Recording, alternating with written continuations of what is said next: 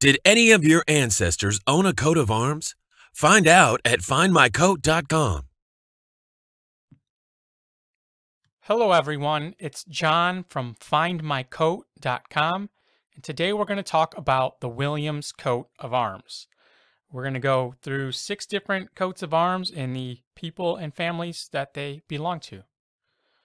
First, we're going to start with John Williams, born around the year 1500 AD. He was made Baron Williams of Thame by Queen Mary Tudor in 1553. He was the Master of the Jewels and Lord President of the Council of the Welsh Marches. Marshes. His coat of arms was blazoned as follows azure, two organ pipes in saltire, the sinister surmounted of the dexter between two crosses, pattee in pale argent. His first wife was Elizabeth Bledlow, with whom he had three sons and two daughters. John Williams was a Welsh clergyman born in 1582 who served as the political advisor to King James I and was Lord Keeper of the Great Seal, as well as Bishop of Lincoln and Archbishop of York. He was once imprisoned in the Tower of London for committing perjury. His coat of arms is blazoned as follows Quarterly, first and fourth, gules a chevron ermine between three Saracens' heads in profile couped argent. Second and third, gules a chevron between three stags' heads e- cabossed argent attired of the second.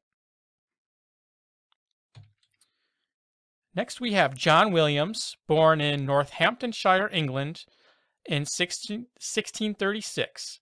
He became the chaplain to William and Mary after the Glorious Revolution and was consecrated Bishop of Chichester in 1696. His coat of arms was blazoned as follows Sable, a dove argent, between three crosses pattee or. Next, we have the Williams of Vaynol. The Williams baronetcy of Vaynol in the county of Carnarvon was created in the baronetage of England on June 15, 1622, for William Williams. This family's coat of arms was blazoned as follows Gules, a chevron ermine between three Saracens' heads couped proper. The sixth baronet was represented.